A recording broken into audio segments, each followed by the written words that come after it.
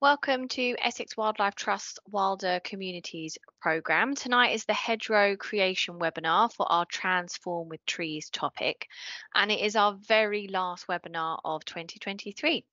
And as you all know, it's for our Team Wilder projects, which includes Urban Wildlife Champions, River Champions, Wilder Towns, Wilder Villages, and Next Door Nature.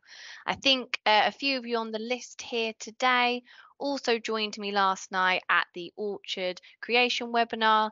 Um, so welcome back. Um, I am Danielle Carbot, though. If you haven't met me before or been on a webinar, I am the Wilder Communities Manager at Essex Wildlife Trust. As always, before we kick off, this is a webinar, so you will not be able to turn on your camera or microphone. But if you do have any questions, please pop them in the chat. There's a bubble at the top. There's also a Q&A um, little button as well if you wanted to use that, whichever suits. And then I will try and answer them at the end. Um, there's also, of course, always an opportunity to book in-site visits for more bespoke support. So, Today's session, uh, this evening's session, will focus on hedgerow creation. Um, hedgerows are a valuable wildlife corridor across our landscapes. They connect up habitats, aid the movement of wildlife, and provide a rich larder throughout the year. You might be planting a brand new hedgerow, replacing one that, that has been removed, or simply filling in gaps. Whatever your project plan, this webinar will support your plan and prepare you for your own hedgerow project. First, though, a little intro. So, hedgerows, very similarly to our orchard webinar creation yesterday, they are a man-made habitat, um, but this time they're kind of a vertical and dense structure. And they actually provide something called an ecotone, where two or more habitats overlap. So they mimic woodlands, but also hold scrub and grass and habitats too, which really provides a fantastically rich species space. And this is important because many of our species have evolved to utilise that variety and diversity. For example, song thrushes, um, they forage at the base of a hedge, they nest in the shrub layer and then call and sing in the higher layers.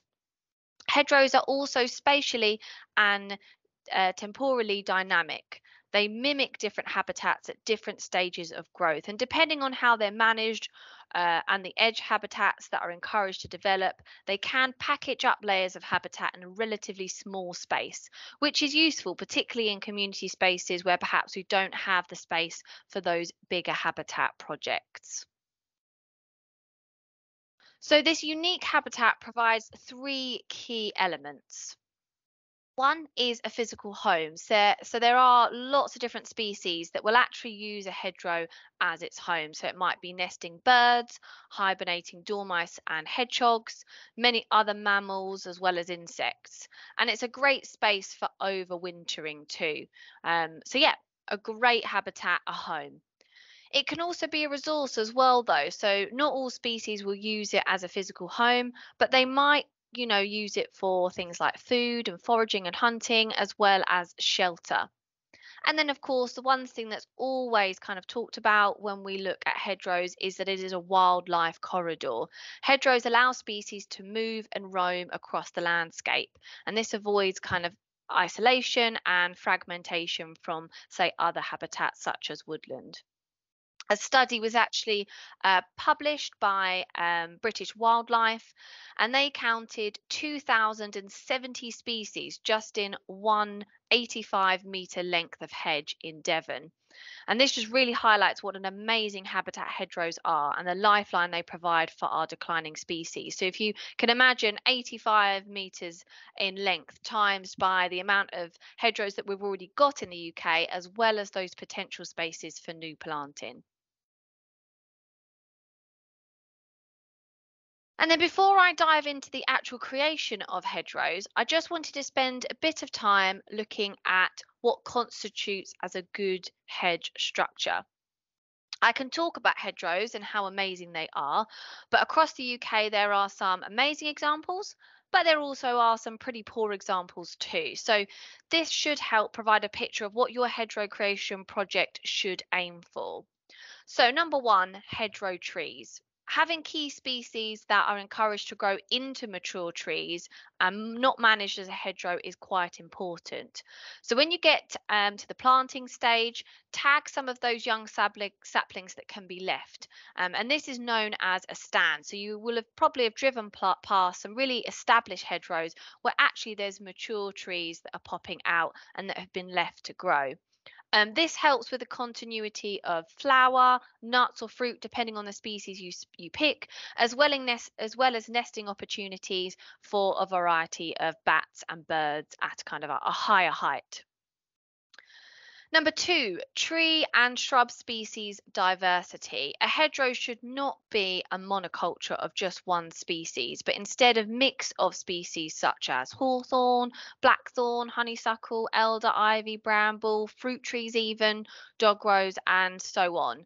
And this will help to support species that are dependent on specific food plants. The more species you have in your hedgerow, the longer flowering uh, season there'll be, the more uh, pollen available and so on. So really that kind of um, variety of species within a hedgerow is really, really important. Number three, height and width. So the taller and wider a hedgerow, the better. This then creates structural diversity. So when managing a hedgerow, um, and we will look at this in more detail, the idea is that slowly over time, they consistently change and steadily get bigger. You don't always want to have this kind of really neat box structured hedgerow. Um, you want to have, you know, quite a kind of a scruffy, unkempt hedgerow. That's the best for wildlife. And number four, again, through management, structural diversity should be achieved. You don't want to create kind of a uniform hedge, but that, that one that has kind of a, a varieties uh, of features. And that picture I've got on the screen there is a really good example of the variety that you might have in a hedgerow. And it kind of demonstrates that ecotone as well. There's so many different overlaps from different habitats there. And similarly, you might also want to ensure hedgerows are dense to the base. And again, this is down to management. You don't want to kind of create leggy hedges um, where you've got gaps all at the bottom. Otherwise, species won't be able to use them for navigation, shelter, or nesting. And again, that's due to management. We'll look at that later. And then connectivity, you want to avoid kind of gaps where possible. So as you move uh, through the hedgerow creation, replanting unsuccessful whips is important. And uh, yeah, connectivity to the wider landscape as well. Um, you know, looking at a hedgerow not just in isolation, but what it's connecting up to. And then margins. Um, number seven, as mentioned, hedgerows are a ecotone where habitats overlap. So you want to bake that into your plan. Margins such as grassland and scrub, encourage those to develop. So it's not just that kind of line of tree species that you're looking after, you're kind of looking after the margins on each side, uh, depending, you know, uh, where your hedgerow is going to go. And of course, hedgerows are not just good for wildlife, but can be a a huge benefit to people. Just like woodlands and other habitats, hedgerows are a great carbon storer. They reduce soil erosion. They can help with flood management. They also provide shelter and shade, particularly in heat stressed urban areas. And ultimately, they can be used instead of fences, so creating a more natural barrier in green and open spaces. And this can in turn help with noise pollution as well as air pollution across these spaces. And just to demonstrate this, I have a small video video from the Tree Council all about urban hedgerows. Enjoy.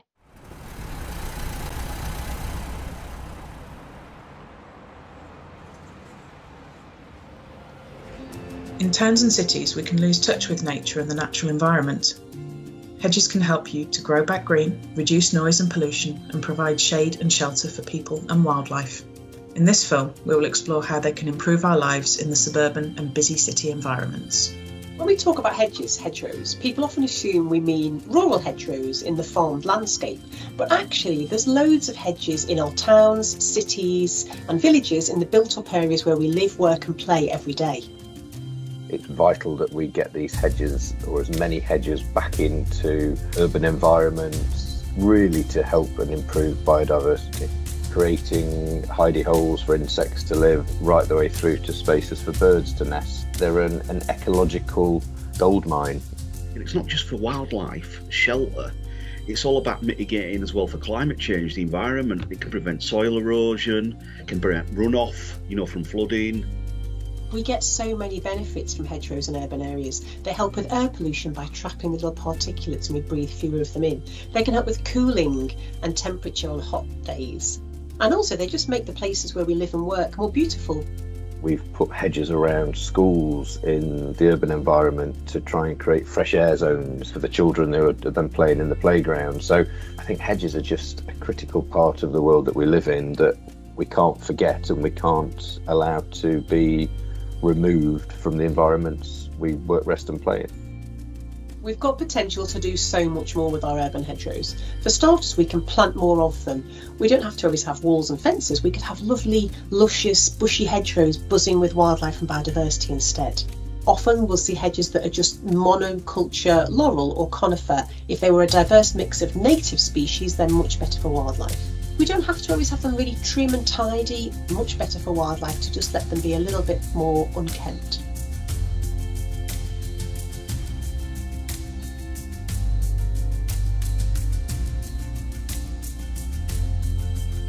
Find out more about hedges in urban environments, the benefits they can provide, and how to care for them in the Hedge Hub.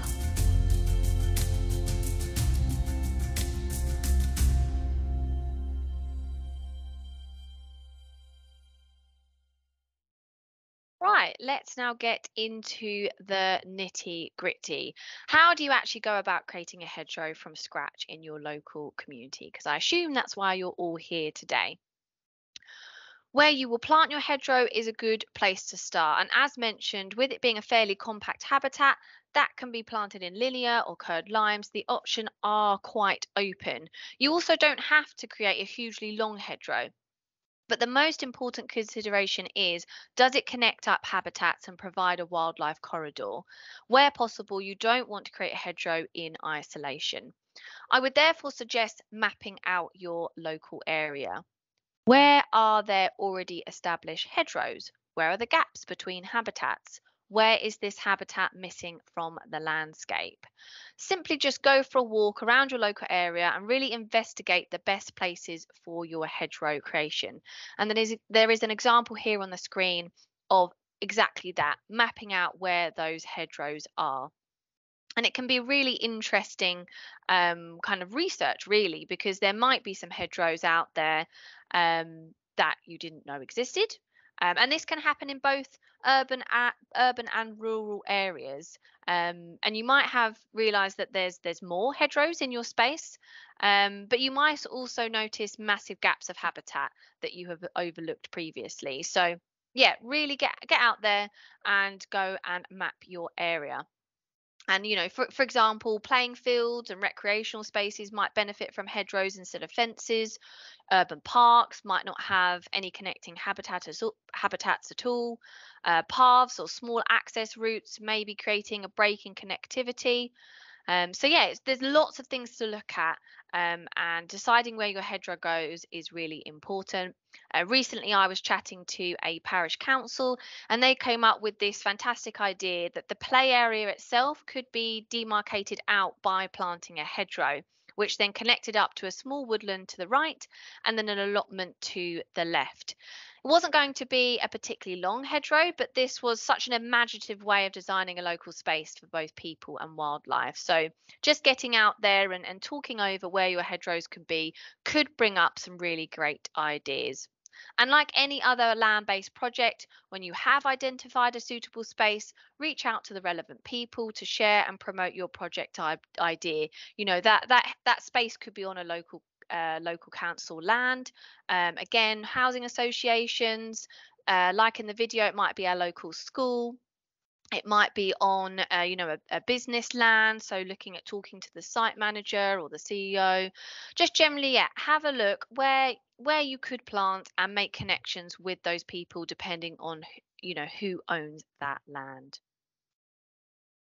And again, within that first initial step, step, it really is important that you do not do it alone. And I really spoke about this yesterday as well in the Orchard uh, creation webinar to ensure that the project is successful uh, and that you're not including and that you're not kind of removing local residents from uh, the decision making you know go out listen to people maybe even try and form a community group to oversee that project as well. This could be an informal group you know a set of volunteers or just a network of people that are interested in hedgerows or maybe interested in mapping out your area.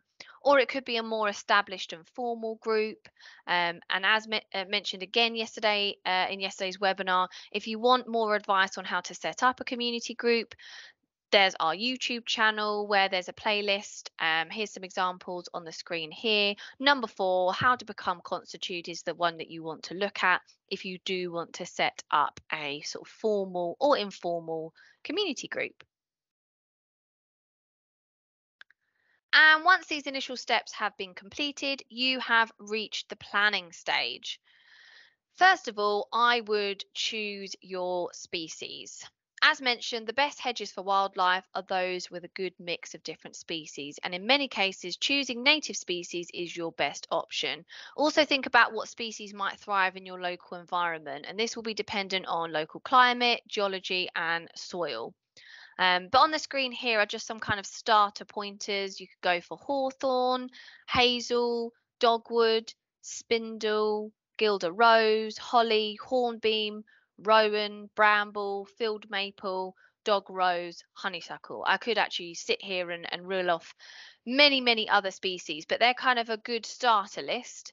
Um, if you'd like me to send that kind of starter list to you, more than happy to do so. Do so. You can also download this PDF as well, which has you know a lovely illustration of some of those native species that you might want to consider planting along within your hedgerow. And also Find a supplier. The widespread use of plants grown from foreign seed is eroding the genetic integri- integrity of many of our native species. So find a supplier that grows from local seeds or rootstocks where possible. Um, these are generally available in kind of late autumn and they come uh, or as, you know come as bare roots known as whips. These are generally the cheapest and most easily acquired plants um, and they come sort of in 30 to 45 centimeter lengths or 45 to 60 centimeter lengths or 60 to 90 centimeter lengths. So they're not particularly big. Um, and I would probably recommend going for the, the 60 to 90 centimeters, the biggest variety. Um, but whips is the best thing to do um, because you can plant them on mass. And that's very different to the kind of advice I gave yesterday uh, in the orchard creation webinar, where I recommended buying maidens, which are a year old. Go for whips. It's the best option and much easier for large scale planting. Because um, in most cases, hedgerows are planted in a double staggered row, and you need kind of four to six whips per meter. So think about how many you will need to buy um, and this is to make it kind of more dense when you do that kind of staggered two row approach and enables you to fit more whips into the space, which will again help with its structure further down the line. The thing to bear in mind with bare roots as well is that they need to be planted within a kind of two to three day window where possible to protect the roots and stop them drying out.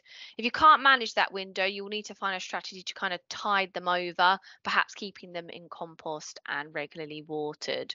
So lots to bear in mind there when you're looking for suppliers and the types of uh, yeah tree planting you want to go for.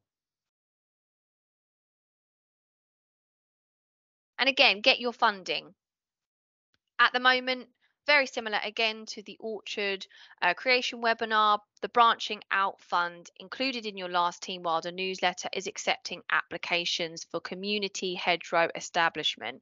This is generally available every year and here's a screenshot of what they're um, yeah funding right now 250 to 2500 with deadlines sunday the 3rd of december. You've also got more hedges, which is a funding option from the Woodland Trust, again here on my screen. Um, this funding is specifically for hedges and they are looking for kind of new hedging projects of 100 meters or more so kind of larger scale but a very good one to look at if perhaps you're a local uh, parish or town council that's uh, joined the webinar today Or, of course, you can look for local funding pots. I do include these in the monthly newsletters where possible, but you ha- may have access to more. Um, you know, sometimes local borough, district, or city councils have funding pots that you can access. And again, we can support with funding applications and letters of support where appropriate. So reach out if you've got any questions at this stage. But do a little bit of research, see what funding is out there. Because there may be some pots that are not just for tree planting or hedgerows, they might just be general environment and conservation funding pots or grants.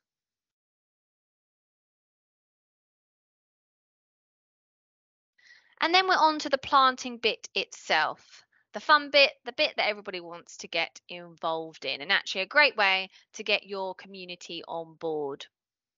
You can make it into an event, invite lots of people, include your local primary school or secondary school, scouts, guides, cubs, brownies, you name it, invite them, see who's interested in joining you. And of course, it will be your formed community group or network of volunteers that will be running this day. Um, but it's really important to use your plan at this point. So use markers to map out your hedgerow on the land you intend to plant. Mark out where the holes need to be dug and measure out the spacing needed between each whip.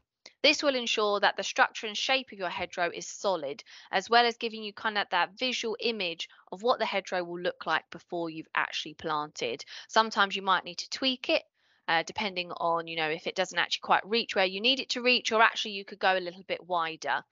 Um, and in some cases, you could do this as part of the day itself, or of course in advance as well to the planting event, depending on how many people you have volunteering on the day. And the planting itself is fairly simple. Dig out a square hole. I mentioned this yesterday. It's a tried and tested formula and much better for the much better shape for the roots. You kind of want to go 40 by 40 centimeters, or if easier to kind of get your eye in, twice the size of the root ball. However, make sure the hole isn't too deep, around 25 to 30 centimeters, and aim to plant just above the the root flare and try and create that kind of root flare position tamper down and backfill uh, a little as you're planting it in as well, bearing in mind you don't want the soil to go up too much into the trunk as the trunk needs to breathe just like our skin. Again, don't add compost to the hole. Just use the soil that has been dug out. And the reason we recommend, uh, you know, not using compost is because it can create a luxury space, if you like. Um, and the roots tend don't tend to kind of go further than the compost, creating issues with stunting um, and yeah, growth further down the line. Compost also seems to hold more water, and we would recommend avoiding the whips having wet feet where possible, as this may create, you know, rotting issues, and then you're going to have to replace the whips as you go. So avoid compost. However, do mulch the the uh, planted tree once it's in, as this will help to improve the soil over time. This could be through wood, trip, wood chip, I should say, straw or grass clippings. But just be aware that if you do use mulch, try and keep reapplying it to suppress other plant species. You may also need to clear or cut back the base of the whip as other plant species, um, as you move forward, will be making use of the higher nutrients that you've um, added really to that space. You don't want other plant species, you know, things like um, thistle, nettle, broadleaf dock, that sort of thing. You don't want them to start out competing the whips that you've planted and take over that space. Sounds like a, a big job, but we really don't recommend spraying with herbicide or pesticide. Um, so control this problem where possible by hand and reapplying mulch regularly can help um, this issue. Staking is important too, particularly for whips to ensure the base of the tree doesn't move too much in the wind or bad weather. You want to kind of go 90 centimeters in length and then use a buckle tie to attach them to together to create that solid structure. You can also protect the entire hedgerow with fencing as well. But this can be a little bit of an expensive option. So make sure that it is actually necessary. For example, will your hedgerow be vulnerable to grazers such as deer or in a busy public space? If you do need to use protecting fences, then place these around one metre out to allow the hedgerow to grow. You don't want to put them really close in and then find as the hedgerow grows, it's kind of taking over the fence and then you've got kind of management problems and the fence will start to break up. And where possible, avoid spiral guards. I've just popped a picture on the right there a really good hedgerow project. They've got that staggering two row hedgerow going in, but they have used spiral guards. And in some cases, if they're left on for too long, they can create that kind of leggy hedgerow, that structure that I suggested avoiding earlier on in the webinar because you want your hedgerow to be really dense at the bottom. So things like you know smaller mammals hedgehogs can use it as that corridor.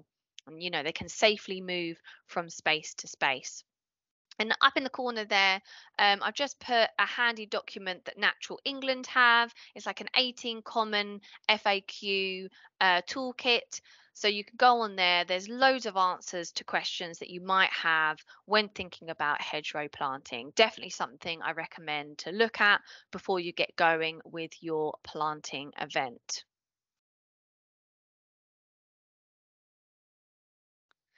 And now your hedgerow is in, it really is important that community group has built in future management plans. So I am going to spend a little bit of time thinking about future management because 50% of our hedgerows have been lost since the 1950s, and some of this is really due to either over or under management. And you've probably seen this again when you're out and about. Um, hedgerows that are not looking in good condition, it's generally because of management issues. For example, if your hedgerow isn't managed at all, um, it will succeed into a line of trees. So sometimes there's that idea that for it to be good for wildlife, just let it be, let it grow. But hedgerows are a man made habitat, so they do need to be managed. If left, they'll just grow and grow and grow, and they'll all become mature trees, and you'll have a line of trees. And this means that that ecotone habitat I discussed earlier in the webinar would be lost that density, that structure, that shape would be lost, which of course is vital to the wildlife we're trying to support. You know, a line of trees doesn't create so much of a good wildlife corridor, doesn't have so many nesting opportunities, there's less available in terms of forage, um, and the structure is just lost over time. So, yeah, it's really looking at you do need to manage this as you go forward. And then there's the kind of flip side of, of that coin as well. If overmanaged, the hedgerows will become threatened. Um, so it may become leggy, sparse, and then gaps will eventually be created. So you can see that um, in, you know, loads of areas of our landscape where old established hedgerows have got now kind of gaps creating in them that getting wider and wider. And that's just because um, the species have been overmanaged and they've started to decline and you know die back. And although of course deadwood habitat is a really important part of our hedgerows we do want to keep our hedgerows managed and kind of rejuvenated over time so I'm going to go through kind of a list of key management recommendations, although this will need, need to be adapted to your project and space. And I would recommend checking out PTES, so the People's Trust for Endangered Species um, information. Uh, they have a fabulous hedgerow management cycle toolkit. Here you can see a diagram that they've produced, which again is really, really useful. So for newly planted hedgerows, yearly cutting and trimming is important to encourage the whips to put energy into kind of that lateral growing rather than shooting straight up into that kind of tree uh, formation. So really early on, you want to be thinking about trimming off the um, kind of new growth or budded area in the kind of winter season. So when you get to that kind of new growing season, it starts to think about growing out laterally, putting out more branches, you know, in other ways rather than just straight up into the sky. But then that kind of changes as your hedgerow becomes established. You know, you don't really want to continue cutting on a yearly basis. And you start to move into a two or three year rotation across the hedgerow. And in many cases, hedgerow species will only flower and fruit on the second year wood. So you don't want to lose that cycle. If you were to manage it every year, it might not flower or fruit as much. So say you had, um, you know, a 30 meter length hedgerow, you might do a 10 meter part of it the first year, the other 10 meter part the second year, and the last 10 meter part the third year. And then you get into this lovely rotation. You're not having to manage the whole hedgerow in one big go, it's going through cycles. And again, that adds to the kind of diversity as well of your structure. And then when you are managing it on that rotation, it really is important to not cut to the same height every single year. Allow them to gradually get bigger and grow. Otherwise, again, you'll create legginess and gaps. And you might have seen hedgerows that almost have that kind of knuckle like growth at the top. And this is because the hedgerow is being cut this exact same place each year. So let them grow higher and wider by increasing your cut by about 5 or 10 centimeters each year. And this will avoid structural damage and it promotes continuous flowering and fruiting. And we also recommend cutting later in the winter, so you know, kind of January, February, to ensure that there is forage available over the winter months. And of course, you know, that eh, you do need to take into account um, that there's going to be kind of no obstruction or, or soil compaction um, if you're doing it in January and February. But you know, early management in September and October uh, just means that you're getting rid of so many different fruiting varieties that particularly our birds rely on. So cut later in the winter where possible. Um, However, even with all these management techniques, hedgerows do need hedge laying to keep them fresh kind of from time to time. This helps a hedgerow rejuvenate, and that's kind of the top bit of that cycle there. Um, this is a rather skillful technique, but it involves cutting the larger stems three quarters of the way through bent over, bound and place. And this helps the hedge thicken up at the base again.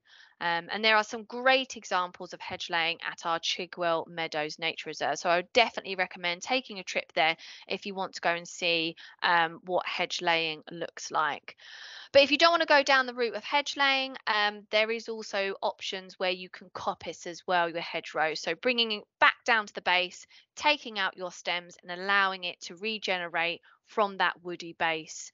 Um, yeah, so you've got the new shoots going up, you're creating that dense area, um, and you're not having kind of leggy hedges that are getting too high um, and forming kind of uh, tree like structures. And then, of course, not forgetting about the ecotone. It's not just about managing your hedgerow. Manage the hedgerow margin, which includes scrub and grass and management. You don't want to have a really kind of intense management right up to the edge of your habitat. You want it to be that kind of natural transition from the hedge right through to the grassland where you have that hedgerow edge where you're going to get, you know, lots of different wildflower species. You're going to get some, you know, reshooting and suckers coming out from the hedgerows, which again is just another way of providing that kind of shrubby, scrubby denseness for, for nesting birds. So it's just looking at that margin as well and you know kind of managing maybe half a meter or a meter out so you haven't got kind of a stark contrast between you know freshly cut lawn to then hedgerow and all this can be achieved through monthly or seasonal work parties. You know, get your community group together and plan out when and how you will manage the hedgerow together.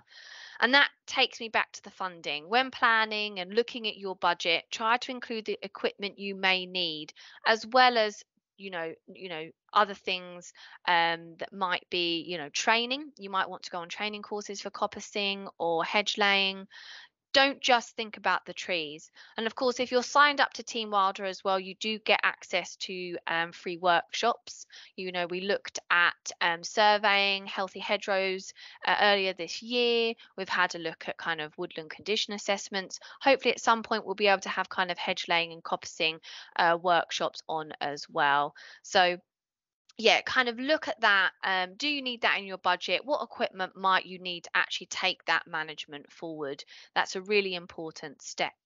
And, you know, think about your volunteers. I'm sure they're going to want to be kind of upskilled in this area as well if they're looking at managing a hedgerow. So it's just baking that into your plan as you move forward um, because hedgerows, particularly hedgerows, are not just about the planting, it's about how you move forward to make sure they're a haven for wildlife and also, you know, so people can enjoy them. And as I mentioned, if you did come to our he Healthy Hedgerow Survey workshop this year, then you will have already have had a chance to survey a hedgerow for its health and future management. But if you weren't, we have this fantastic video from PTES just detailing how you would survey your hedgerow as it establishes and right into the future to help you understand the condition it's in and the management you can use going forward. So you know, I'm not expecting you to go out and know exactly, you know, what condition your hedgerow is in. So this survey really gives you an idea um, as to what condition it's in and what you might need to do within that hedgerow management cycle. And again, we're always here for questions as well, site visits. I can come and look at your newly planted hedgerow. If you've already planted the hedgerow last year, I can come and look what's that kind of future management that you need to put in place. So let's have a look at that video. It's got a really funky tune, um, but can give you an idea of how you go out and survey the hedgerows. And lots of people really enjoy, enjoy doing this. It's a great volunteering opportunity.